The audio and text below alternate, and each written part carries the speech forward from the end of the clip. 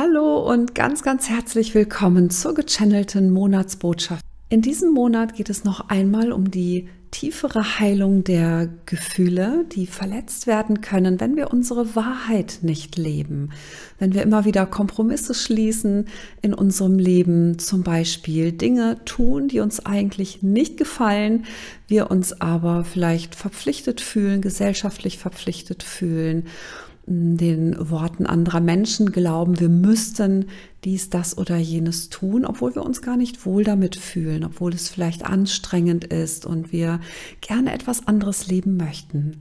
Das kann unsere Gefühle sehr tief verletzen, ja, und dann fühlen wir uns einfach nicht gut. Und schlechte Gefühle bedeuten niedrige Energien und das tut auch unserem Körper nicht gut. Auch unser Körper möchte viel lieber in einem freudigen Ausdruck leben, freudig und frei.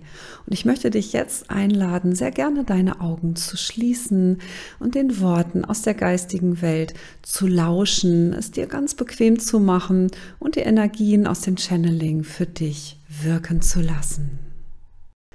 Lasse deine Aufmerksamkeit ganz nach innen sinken und richte deine Aufmerksamkeit sanft in deinen Bauch-Beckenbereich.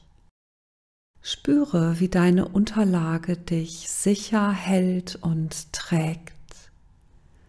Und erlaube, dass sich ein Gefühl der Geborgenheit in dir entfaltet. Maria Magdalena, verschiedene Erzengel und Jesua betreten nun den Raum. Sie bilden einen großen Kreis um dich herum und begrüßen dich. Sie verneigen sich vor dir, segnen dich und ehren dich für deinen Mut, dein Leben auf der Erde anzunehmen, dich deinen Herausforderungen zu stellen, dich dem Fluss deines Lebens hinzugeben und all die Erfahrungen zu machen, die du bisher gemacht hast. Geliebtes Sein, das du bist, wir grüßen dich und senden dir Wellen der Liebe und Ehre aus der geistigen Welt. Erkenne dich selbst in diesem Moment für alle Erfahrungen an, die du bereits in deinem Leben gemacht hast ohne eine Bewertung von gut oder schlecht. Alles waren Erfahrungen, sie haben dich wachsen lassen. Sie dienten dir, um zu erkennen, wie du leben möchtest und was deine innerste Wahrheit ist. Freudige wie auch schwierige Erfahrungen bringen deine innersten Talente und Stärken hervor. Und wir wissen sehr genau, dass dies nicht immer leicht ist in einem irdischen Leben, in der physischen Realität. Schenke dir nun selbst die Anerkennung dafür und bade in diesem wundervollen Gefühl. Ja, ich erkenne mich an für alles, was ich bereits erlebt und erfahren habe. Ich ehre mich dafür, dass ich so mutig war und bin, diesen Weg zu gehen.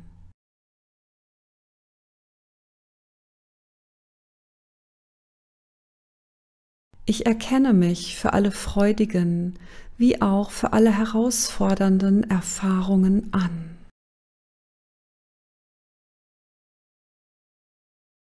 Spüre die wohltuende Anerkennung. Schenke sie dir selbst, sie erfüllt dich, stärkt dich und nährt dich. Bade in diesem wundervollen Gefühl. Oftmals fragt ihr euch, was mit den Menschen geschieht, die anscheinend einen weniger bewussten Weg beschreiten, Manchmal entstehen Missverständnisse, dass manche Menschen den aktuellen Entwicklungsweg nicht mitgehen könnten. Ihr macht euch Sorgen, was mit ihnen geschehen könnte. Diese Missverständnisse entstehen, weil ihr euch in einer linearen Vorstellung von Zeit und Raum bewegt.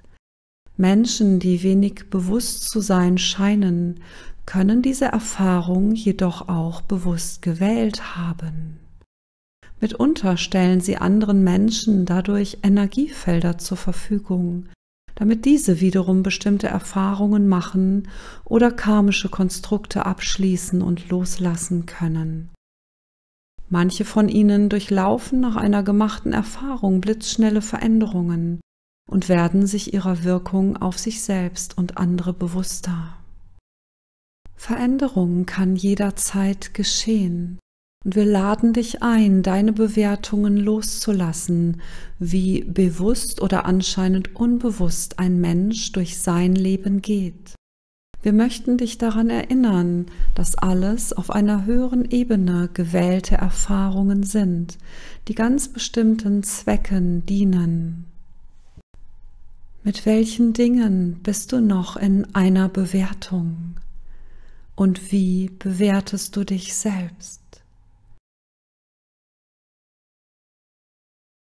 Lege deine Bewertungen durch deine Absicht in ein violettes, transformierendes Feuer, das nun neben dir erscheint. Wir laden dich ein, deine Wahl zu treffen, deine Bewertungen loszulassen, sie allesamt freizugeben, weil dies dein Leben um einiges erleichtern wird. Blicke ohne Bewertungen auf den jetzigen Moment, denn er ist deine Realität. Hole deine Gedanken aus der Vergangenheit und Zukunft in den jetzigen Moment hinein, denn nur hier kannst du wirklich leben und erleben. Gib alle Bewertungen frei. Der Moment ist der Moment. Alles, was dich umgibt und was du erlebst, ist ein Ergebnis deiner bewussten wie auch unbewussten Wahlen. Schaue auf dein Leben, auf alles, was dich unmittelbar umgibt. Verändere, was dir noch nicht gefällt. Du bist nicht hilflos einem Schicksal ausgeliefert, auch wenn es manchmal den Anschein hat. Du kannst jederzeit etwas aus deiner eigenen Kraft verändern. Folge deinen Herzensimpulsen und du wirst am richtigen Platz sein. Wir möchten dich nun in eine Heilmeditation einladen. Die Energie dieses Monats unterstützt die Heilung deiner Gefühle und auch die deines Körpers. Oftmals haben wir unser wahres Wesen, unsere Freude nicht gelebt, und dies hat Wunden in unseren Gefühlen hinterlassen. Lausche und spüre in dich hinein. Kann es sein, dass deine aktuellen negativen Gefühle daher stammen, weil du noch nicht in allen Lebensbereichen in deiner Freude lebst? Frage dich nun und lasse die Antwort in dir aufsteigen. Welcher Bereich in deinem Leben erfüllt deine Gedanken und Gefühle noch mit Schwere?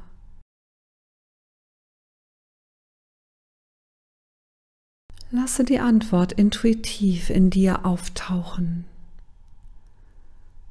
Wo lebst du noch nicht deine Wahrheit? Deine Wahrheit erfüllt dich stets mit Begeisterung, mit Glück und Freude. Nimm wahr, was sich dir zeigt. Du kannst jetzt deine Wahl treffen, diesen Bereich deines Lebens zu verändern. Es kann sein, dass es nur Kleinigkeiten sind, die dort verändert werden möchten, damit es dir gut geht. Manchmal stehen größere Schritte und größere Entscheidungen an. Erlaube nicht, dass negative Gefühle dich und deinen Körper beeinflussen.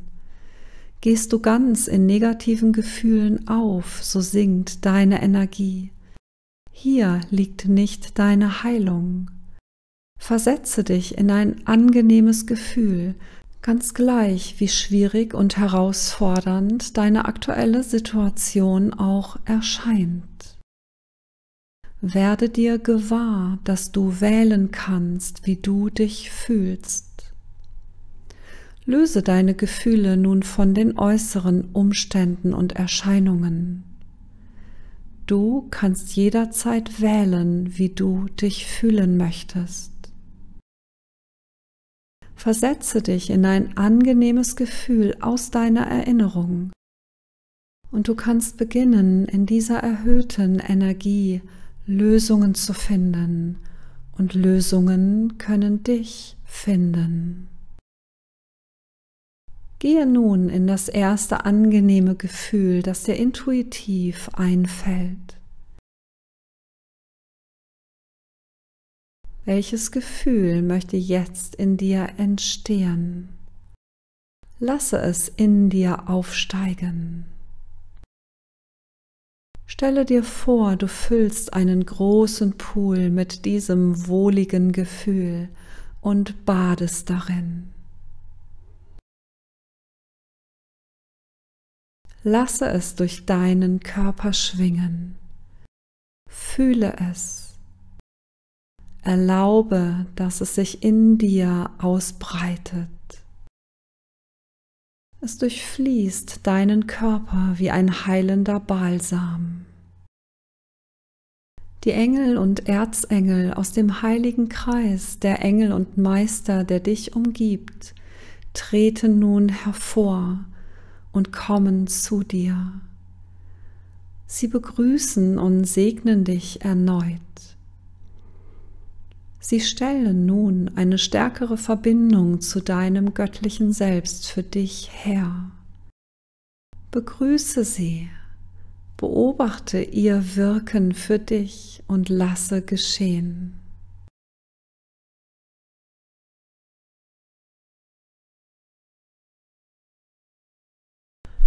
Auch dein göttliches Selbst unterstützt nun dein gutes Gefühl.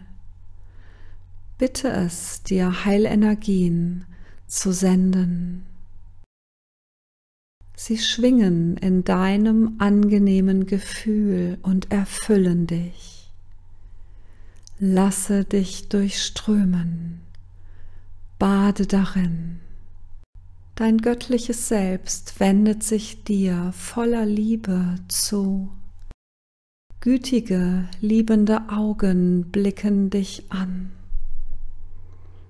Dein göttliches Selbst schließt dich in seine Arme. Es legt dir seine heilenden Hände auf. Es beruhigt deine innere Gefühlswelt und heilt.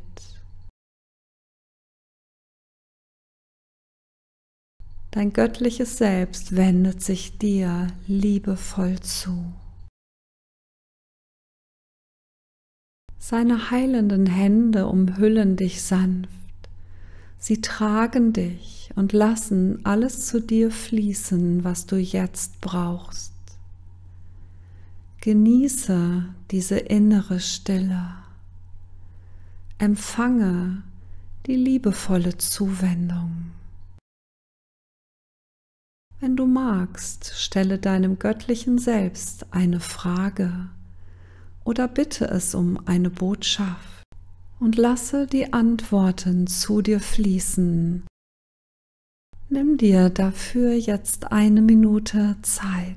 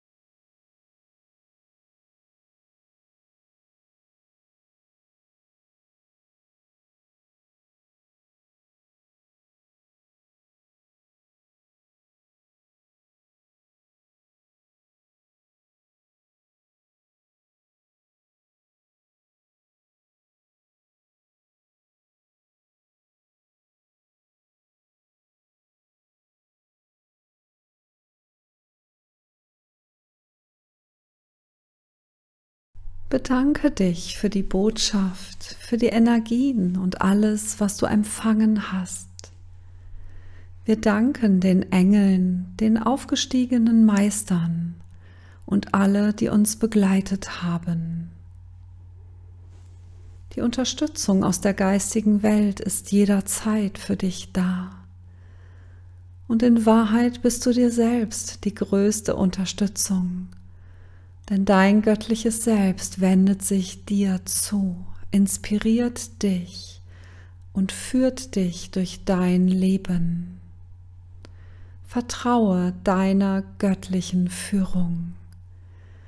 In tiefer Liebe und Verbundenheit Maria Magdalena, Jesua, die Engel und Erzengel und die geistige Welt. Möchtest du gerne selbst channeln lernen oder dich für geistiges Heilen öffnen?